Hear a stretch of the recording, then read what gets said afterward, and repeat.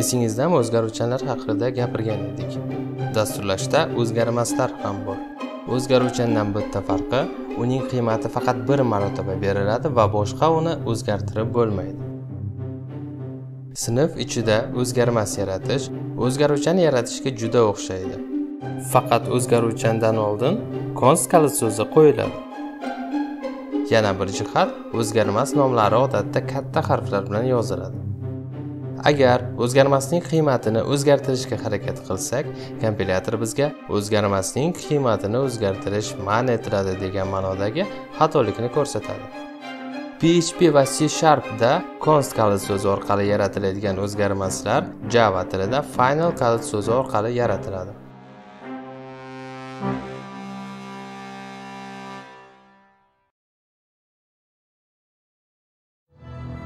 Har bir sinf elementini ya'ni o'zgaruvchanlarni o'zgarmaslar yoki usullarni huquqlarini ko'rsatishimiz mumkin. Buning uchun ular oldidan public o'zbekchasiga ommaviy. Ya'ni istalgan joydan foydalanish mumkin deb belgilashimiz mumkin. Yoki protected o'zbekchasiga himoyalangan. Ya'ni faqatgina ushbu element yaratilgan sinf ichida foydalanish imkoni yoki bo'lmasam ushbu sinfni kengaytirayotgan sinflarda foydalanish mumkin ekanligini belgilaymiz. Va uchinchi variant private shaxsiy. Ya'ni faqatgina element yaratilayotgan sinfda foydalanish mumkinligini belgilab qo'yishimiz mumkin. Bu yerda xato chiqadi.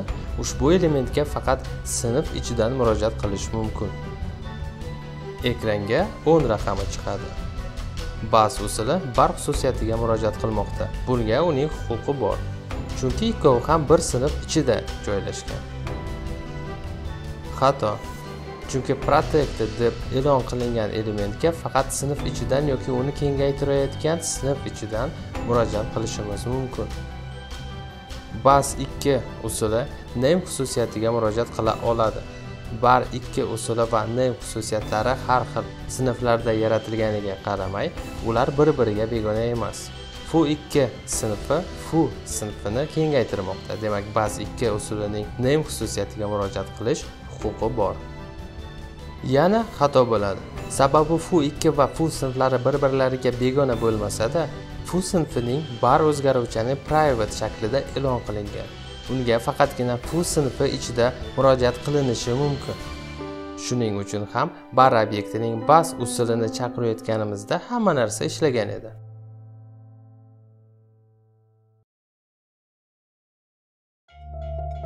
Biz o'zgaruvchan o'zida har xil ma'lumotlarni saqlash mumkin degan edik.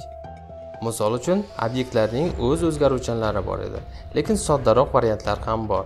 Masalan ko'plik. Ko'plik bu bir turdagi ko'p ma'lumotlarni bir o'zgaruvchanda saqlash. Bu yerda in turiga mansub bo'lgan fu ko'pligini yaratdik. Kvadrat qavslari ichidagi raqam nechta ma'lumot saqlamoqchiligimizni ko'rsatadi. Biz 3 raqamini yozganmiz demak 3 xil ma'lumot saqlamoqchimiz. Mana ma'lumotlarni joyladik. Ushbu 0 dan 2 gacha bo'lgan raqamlar indeks deyiladi. Bir xil payt kalit degan atama ham ishlatiladi. Misol uchun ko'plik kaliti yoki ko'plik indeksi deganda ushbu raqamlar nazarda tutilgan bo'ladi. Esingizdan chiqmasin dasturlashda sanoq 0 dan boshlanadi. Keling ikkinchi indeksimizni ekranga chiqaramiz. Ekranga 78 raqami chiqadi.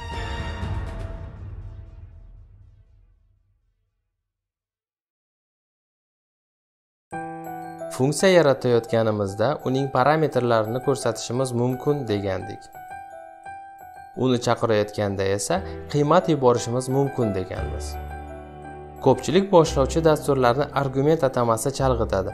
Shuning uchun bu atamani odatda kursning oxirrog'ida ishlataman. Gap shundaki funksiyani chaqirayotganda yuborayotgan qiymatimiz argument deyiladi.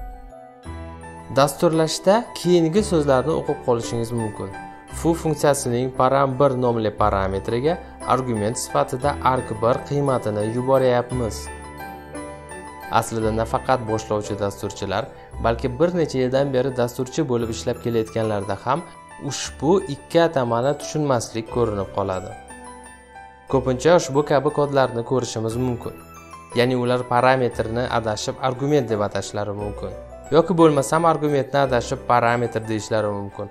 Hattoki biror bir tilga ofitsial dokumentatsiyalarda ham shunaqa chalkashmovchiliklar uchrab turadi. Shuning uchun ham tushungan bo'lsangiz ofarin. Chalkashayotgan bo'lsangiz bu ikki atamaga hech his yo'q. Bu odatiy hol.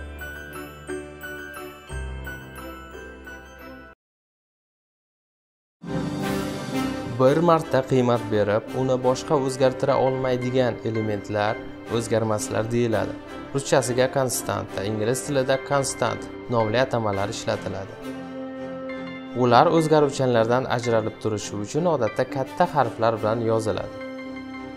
Funksiya bosh qismida ko'rsatilgan o'zgaruvchanlar parametr deyilsa ushbu funksiyani chaqirayotgan paytimizda parametrlarga yuborilayotgan qiymatlar argumentlar deyiladi.